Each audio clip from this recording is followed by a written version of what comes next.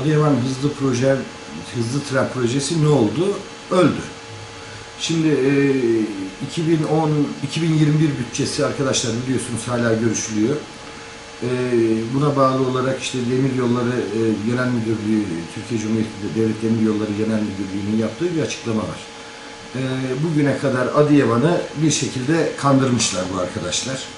E, hızlı tren uygulaması en yakın, en yakın 2029 yılında, elimde e, belgeler de var, e, onları da size göstermek istiyorum.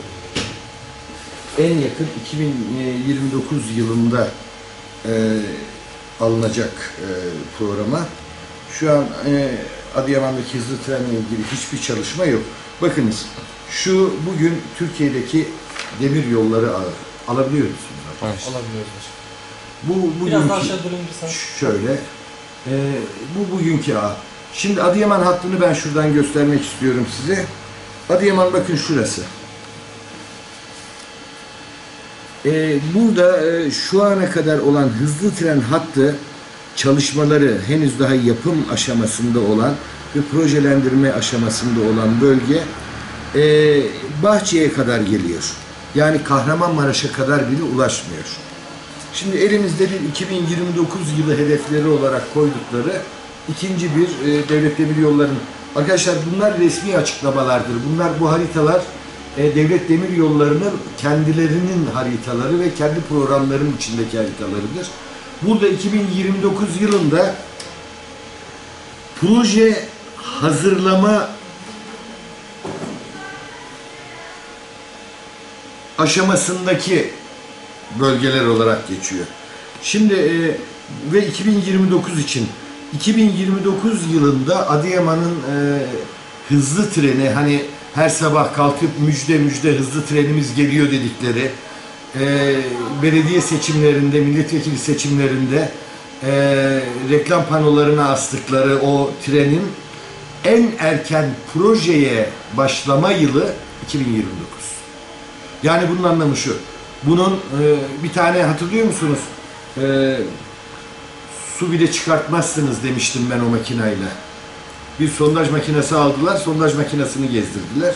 E, araştırma yapıyoruz, sondaj yapıyoruz diye.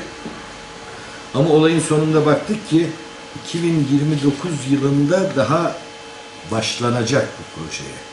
Bu projenin başlayıp bitmesi arasında arkadaşlar en yakın Türkiye şartlarında bugünkü AKP iktidar şartlarında söylüyorum 20 yılı var. Yani 2029'da başlarsanız 2050 yılında belki bunu e, hizmete sunabilirsiniz. E, insanlarımızı kandırıyorlar. AKP bunu hep yapıyor. AKP sadece bu tren konusunda değil arkadaşlar. E, önümüzdeki haftalarda bütçenin çıkmasını bekliyorum. Tarımsal sulamayla ilgili olan e, Adıyaman'daki aldatmaları da konuşacağız. İşte, işte her sabah bize kalktılar, e, bir müjde verdiler. En son e, Sayın Ahmet Bey, Ahmet Aydın Bey e, Büyükçay e, projesiyle ilgili bir açıklama yaptı. E, başladık, başlıyoruz, şu kadara ihale edildi, bu kadara ihale edildi diye. 2020 bütçesinde sıfırdı. E, şu elindeki arkadaşlar 2021 bütçesidir e, DSE'nin.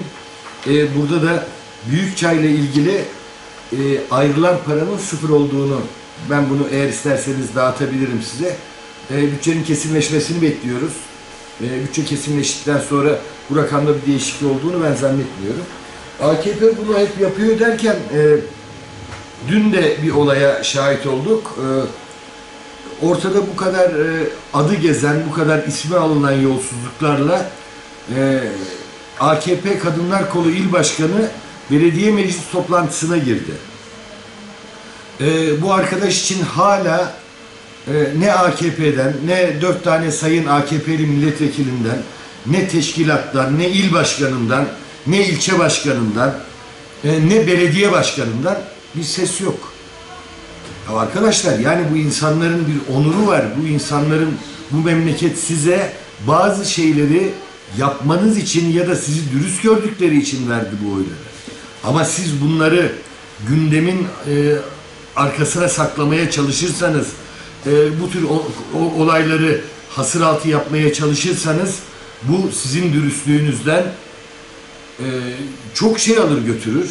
E, bunların bir an evvel açıklığa kavuşması lazım. E, bununla ilgili e, biz hala e, AKP'den, AKP il başkanından, AKP örgütlerinden, Kadınlar Kolu e, il başkanından e, açıklama bekliyoruz. E, keza Ahmet Bey'den bekliyoruz. Dört tane milletvekilimiz var e, AKP'li. Onlardan açıklama bekliyoruz. E, insanları kandırarak, insanları e, sıkıntıya, zora sokarak yaşadığınız iktidar iktidar değildir. Bir takım insanları kandırarak geldiğiniz yerler size mal olmaz. İnsanlar sizin gerçek yüzlerinizi görmeye başladı. Ee, yazık bu insanlarla bu kadar oynanmasın. Yani biz duygusal insanlarız. Adıyaman halkı duygusal bir halk.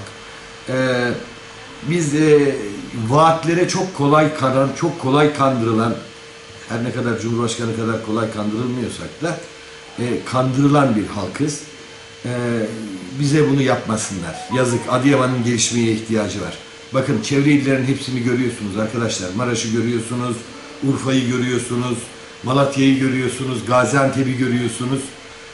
Adıyaman'ın gelişmemesinin tek nedeni, pardon dört nedeni vardır arkadaşlar. Bu dört neden de şimdiye kadar bizim sürekli olarak en az dört tane AKP'ye verdiğimiz milletvekilleridir. Çünkü AKP milletvekilleri, Adıyaman milletvekilleri Ankara'da bir biat kültürü içindedir. Cumhurbaşkanına ya da işte başkana ya da partiye şirin görünmek adına Adıyaman için hiçbir şey istememeklerdir. İsteme, istememeklerdir. Bu arkadaşların tek amaçları var. Koltuk sürelerini acaba biraz daha uzatabilirler mi? Bu şaşanın içinde, bu keyfin, bu harcamanın, e, bu saltanatın içinde acaba bir gün daha fazla kalabilir miyim hevesidir. E, Adıyaman halkı bunun cevabını ilk seçimde mutlaka ve mutlaka verecektir. E, bu hızlı trenle ilgili tekrar gelmek istiyorum arkadaşlar. O kadar komik ki 30 ke 30 Ekim'de e, Sayın Belediye Başkanı'nın e, açıklaması var hızlı trenle ilgili. Teşekkür açıklaması var.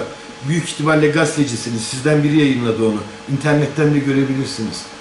E, bakın daha Kasım'ı bitirmedik. Bir ay olmadı.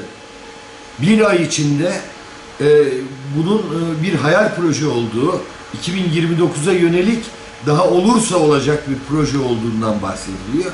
Ayıp yazık yani insanların bu kadar oynamayın. Çok teşekkür ediyorum.